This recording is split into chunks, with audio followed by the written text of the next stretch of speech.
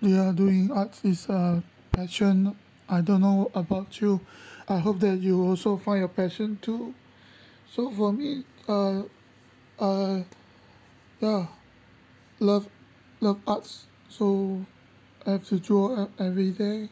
I hope you also like to like arts and come and join us on this art journey. Yeah, thank God it's now Monday. Yeah, just do whatever we can.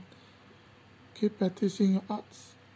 Most important is to keep practicing, then you will get to improve. We want to do sketches or just do digital also can. Just any form of arts. The main thing is to keep creating.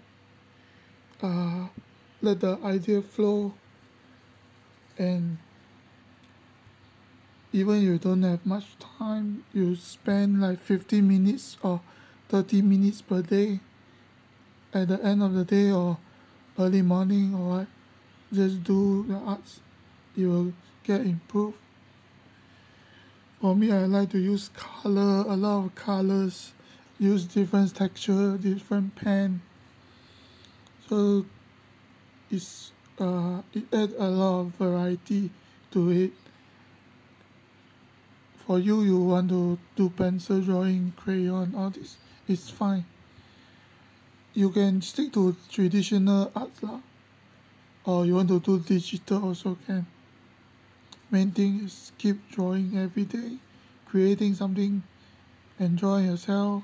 Yeah maybe you can turn on some music and as you draw you listen to your music and you draw you get inspiration. Also look at photo look at cartoon look at movie. Yeah that's it. Enjoy your arts. Have a good time. So hopefully we'll have the next video soon.